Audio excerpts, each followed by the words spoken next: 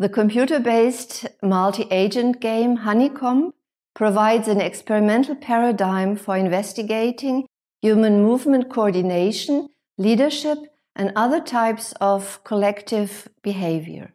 Using the honeycomb paradigm, spatiotemporal data of individual movement behavior can be collected, and the development of behavioral patterns and collective structures can be analyzed. Our vision is that Honeycomb will provide new strategies for protecting crowds. For example, it can help first responders identify effective approaches to leading a crowd to safety.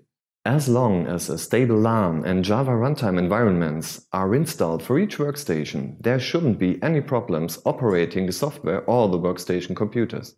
A visual demonstration of the Honeycomb game will make it possible for potential users to survey the whole process of setting up and running the experiment to completion.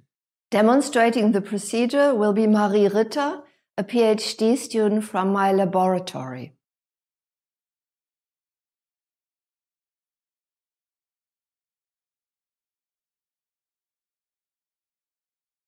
Select a location away from a high traffic area, such as in a computer lab or other specified area with individual workstations that can be configured as a local area network.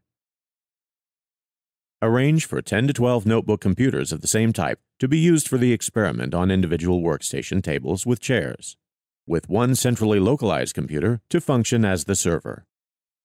Connect the notebooks to the server computer via Ethernet cables and a network switch to create a local area network as illustrated.